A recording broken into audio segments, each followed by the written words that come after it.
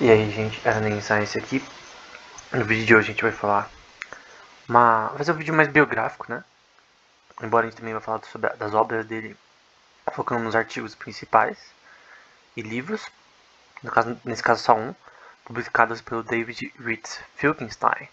E provavelmente não é um nome que você conheça.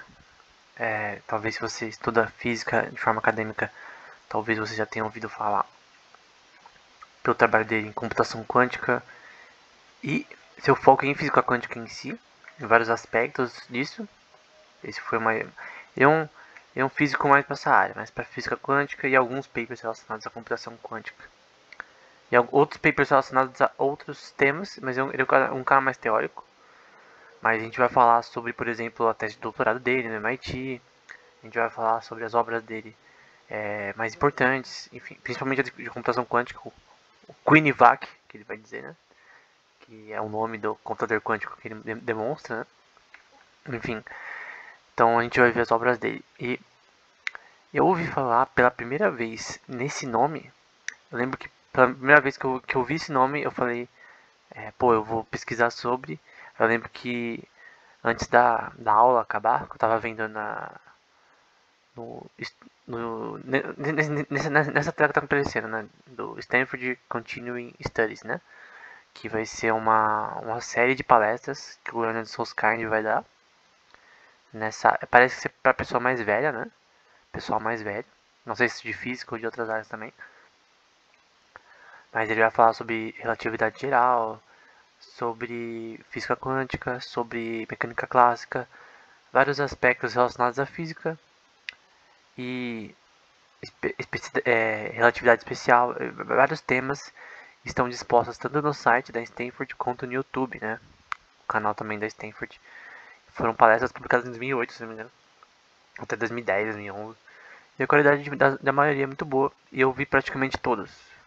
Então, tipo, em uma delas eu não sei, eu não lembro qual, que foi tipo quase no último, na última das, no último vídeo. Eu não lembro se foi sobre física quântica, não sei se foi sobre é, relatividade, provavelmente não. Mas eu lembro de que uma das palestras eu ouvi o nome do, o Leonard Susskind, né, falando sobre é, esse David Filkenstein. Ele falou sobre como o dele era desconhecido. Ele até falou, tipo, talvez vocês não conheçam esse, esse físico, né, mas é muito importante para física quântica. E eu lembro de anotar o nome e deixar o papel assim, debaixo do teclado. E depois nunca mais achar o papel. E eu, aí esses dias eu tava tentando lembrar o nome desse cara, porque faz muito tempo já, faz tipo uns nove meses que eu que eu tava vendo essa palestra específica que falava é, esse nome, né? E aí por algum, por algum motivo nessa semana eu lembrei desse nome. E eu lembrei que eu queria ler os artigos dele que eu vi que eram relacionados a, a vários temas legais, importantes. E ele descobriu uma coisa bem importante relacionada a, ao o rádio de Schwarzschild, que é relacionado ao buraco negro, né? Então, meio que foi relacionado à invenção e ele vai meio que falar algumas coisas relacionadas a isso, principalmente na tese de doutorado, provavelmente, que demonstra como o como a gente vai ver pra frente como o, o rádio o, o, o, raio eu falei rádio né mas é o raio relacionado ao buraco negro tem essa questão de você de como o jeito que ele funcionaria seria de que algo quando entrasse sumia né. Então quando entrar nesse é zona de esse esse acho que o nome em português é que em inglês é event horizon né então, horizonte de evento em português. Que seria onde você, você não escapa, né?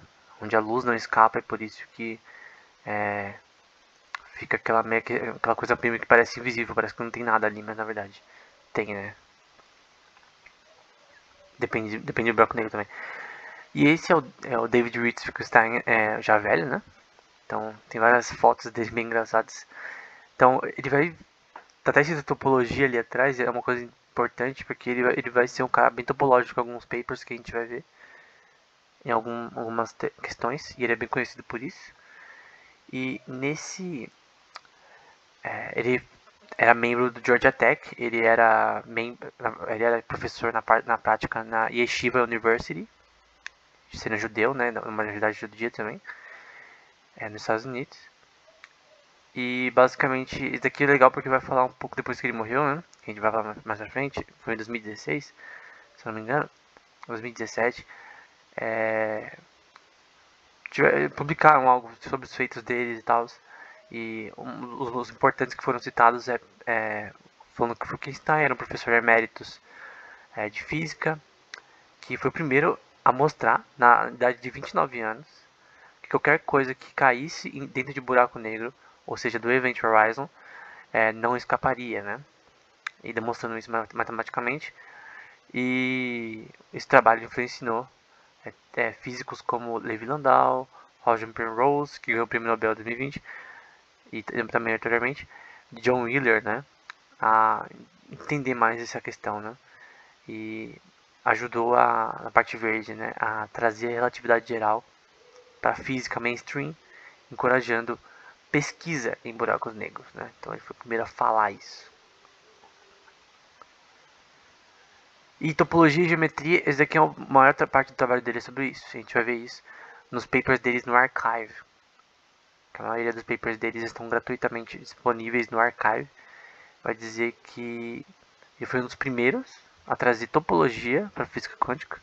Descobriu um, fenômeno, um fenômeno né, chamado kinks e solitons, que a gente vai ver mais pra frente, e formulou uma teoria é, de unificação é, electroweak. Eu acho que eu não vou conseguir traduzir isso.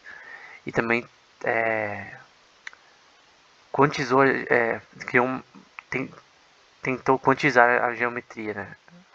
tentar a, trazer aspectos geométricos para entender melhor a, a, aspectos da física quântica. E, no, tem um paper especificamente dele fazendo isso com mesons, por exemplo, que é uma das partículas é, fundamentais aí do universo, né? do modelo padrão da física. A gente vai ver mais pra frente isso. E eu vou comentar esses artigos brevemente né, mais pra frente. Ela vai falar sobre a paixão dele em desenvolver é, uma teoria física universal consistente, tanto da, da, da, teoria quântica quanto da teoria da gravidade. Enfim, que é o que todo mundo quer, né? Quantum gravity. Seu, a sua vida, a sua vida na infância, né? Seus pais, eles nasceram, é, eles estavam, né? Não falar se eles nasceram, mas eles estavam antes morando na Polônia, em Sokolów, perto de Warsaw e essas são fotos que eu vou mostrar dessa região de Socorro. Essa região vai ser uma região que vai ser ocupada pelo, pela Alemanha na época da guerra. Ainda bem que eles, eles foram para lá mais cedo, né? Eles foram, lá, foram para lá, lá nos anos de 1914, 1915. Então ele e depois foram para Nova York. Então é, nesse caso eles foram para Nova York nessa época e aí obviamente eles não estavam na, Polônia, na Polônia, mas de repente tiveram parentes ou algo do tipo, embora ele não mencione. Então, tá mostrando mais aí, Socorro. Essa é só uma família da, da região. Eu peguei só para dar uma noção como era a cara das pessoas na época naquela região. E entre 1914 e 1915 eles foram para Nova York, né? Então, essa é uma imagem que ilustra como Nova York era mais ou menos na época, embora eles foram 10 anos depois dessa foto, provavelmente era quase a mesma coisa. Então imagina essas roupas desse tipo. É, e aí que eles iam começar a vida deles. O, o pai dele, ele era. Foi, foi eleito Rabi. O Rabi significa, Rabi significa mestre, né? Semelhante ao como era chamado o Senhor Jesus. Com Rabi, né? Mestre. Só que nesse caso ele era um Rabi. É, nesse caso, trazendo para a modernidade, né? Um Rabi, ele, ele é, deveria conduzir as, os, os cultos né, na, na sinagoga, é, na sinagoga judaica.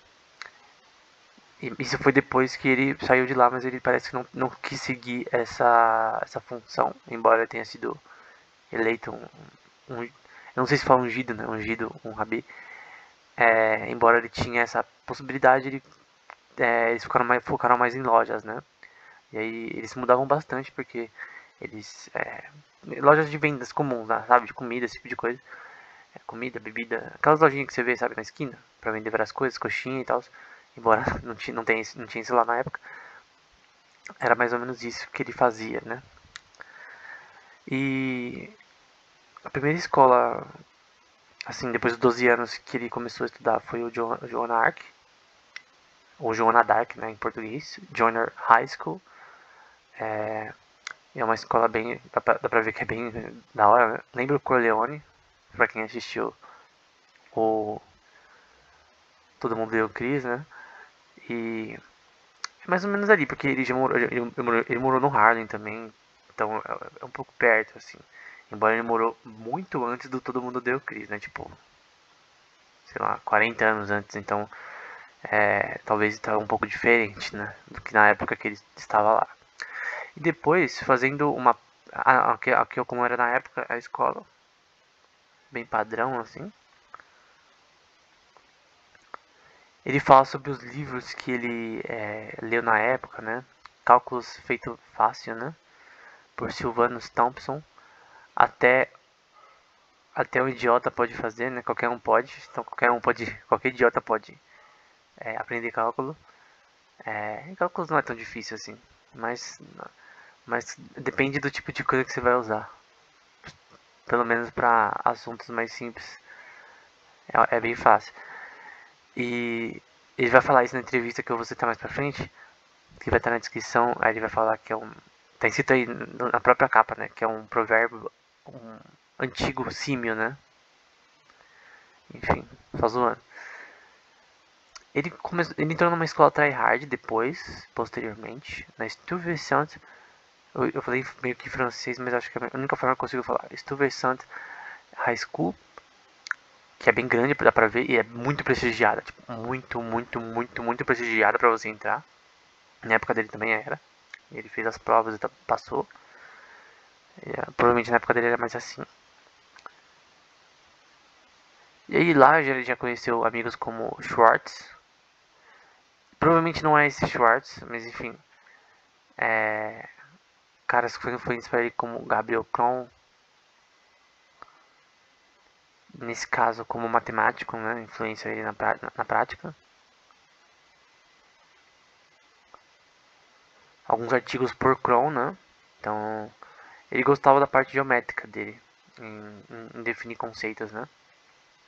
Então, tem vários papers aí, conceitos básicos de filtros espaciais multidimensionais, que posteriormente vai ser aplicado para é, inteligência artificial em alguns aspectos. É, sobre autômata, né? Que é uma coisa que é, John von Neumann vai também escrever sobre. É, ali também, ah, os três, a maioria ali sobre autômata, né? Sobre sistemas que se meio que operam sozinhos da vida. Martin Davis também, que vai ser algum matemático relacionado à faculdade dele. E Jack Schwartz. É que, é que assim, na entrevista, ele fala Jacob Schwartz, que é o amigo dele, que eu, que eu mostrei a imagem antes. Esse Schwartz é diferente.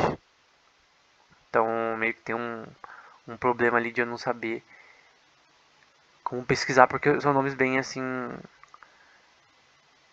Não tão conhecidos assim. Mas o do, do Jack Schwartz é bem famoso. Na. Na, na física. Famoso não, né? É, ele tem alguns papers importantes na física. Então a lógica na mecânica quântica Vai ser um paper que vai influenciar ele posteriormente. Que ele vai falar na entrevista que está na descrição. Que eu vou usar como base aqui biográfica, que é a única coisa que a gente tem. Então, esse paper pelo Birkhoff, que a gente citou em outro vídeo, que vai falar muito sobre computação quântica. O primeiro paper sobre computação quântica foi do Birkhoff, do Quantum Turing Machine, né? é, a máquina de Turing quântica.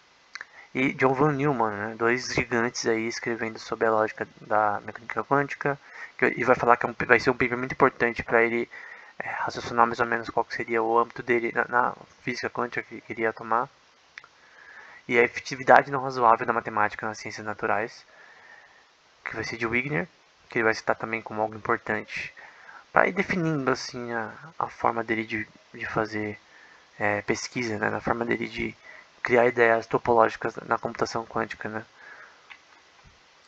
e a perniciosa influência da matemática na ciência pelo Schwartz, que são papers contraditórios um, um com o outro, né? Que nesse caso é, talvez pode ser relacionado esse paper ao teorema de Gödel, né?